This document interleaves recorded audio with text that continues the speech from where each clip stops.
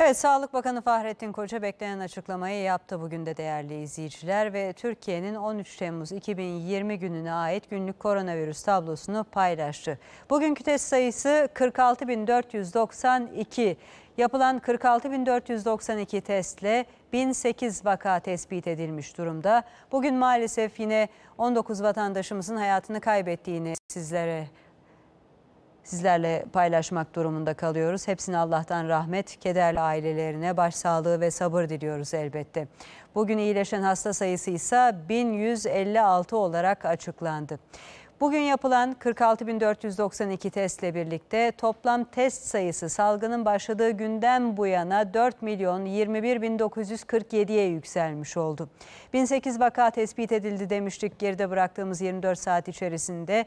Bu 1008 kişiyle birlikte salgının başladığı günden bu yana 214.001 vaka tespiti yapılmış durumda.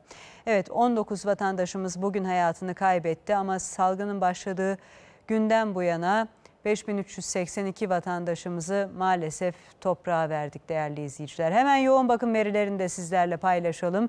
Şu anda yoğun bakım servislerinde Covid-19 tedaviyi gören 1223 vatandaşımız bulunmakta. 402 kişinin solunum desteği almak durumunda olduğu bilgisini sizlerle paylaşabiliriz. Bugün sağlığına kavuşan vatandaşlarımızın sayısının 1156 olduğunu söylemiştik. 1156 kişi de eklenince şu ana kadar uygulanan tedavilerin netice vermesiyle sağlığına kavuşan ve hastanelerde eğer hastanelerde tedavi gördüyse taburcu edilen vatandaşlarımızın sayısının da 195.671'e yükseldiği bilgisini sizlerle paylaşabiliriz değerli izleyiciler.